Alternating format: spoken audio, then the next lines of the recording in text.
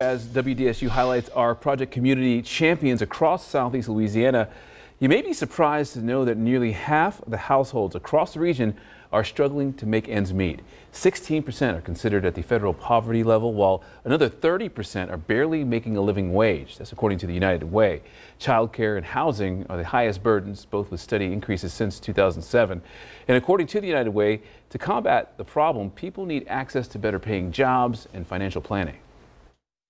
Not making enough to make ends meet, and they're making really, really hard choices on a regular basis. A little bit of boost, get that that next best job, you know, a slight wage increase, and you know, reality is, you know, extra hundred dollars a month or two hundred dollars a month, you know, when your wages are low, is significant.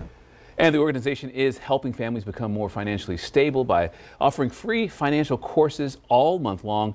The information is right there on your screen, and they start this afternoon at 4. It's at the J. Wayne Leonard Prosperity Center, which is 2515 Canal Street. It'll be at the same time and place again on April 9th, 17th, and 23rd.